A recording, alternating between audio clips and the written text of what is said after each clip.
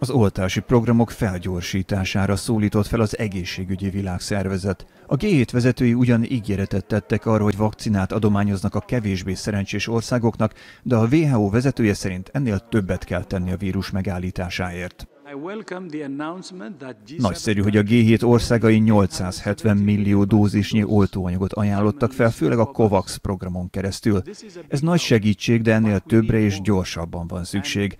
Naponta tízezernél is több ember hal meg. A közösségeknek vakcinára van szükségük, és nem jövőre, hanem most, mondta Tedros Adhanom Ghebreyesus. Az Egyesült Királyságban ugyan jól halad az oltás, de mégis fel kell gyorsítani, mert a delta variáns az eddigieknél gyorsabban terjed. Boris Johnson miniszterelnök kénytelen volt négy héttel elhalasztani a korlátozások feloldását.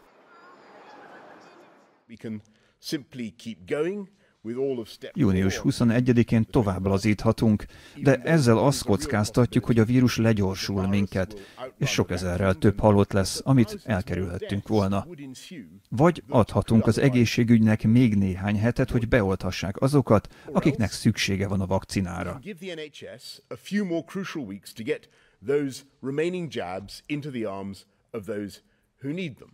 Az elsőként Indiában kimutatott delta variáns időközben 74 országban jelent meg, és egyre gyorsabban terjed.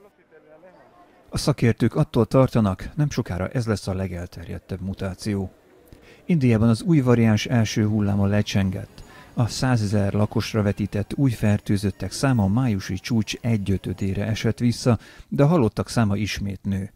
Szakértők szerint azért, mert az 1,3 milliárd indiainak csak a 0,2%-át tudják beoltani naponta.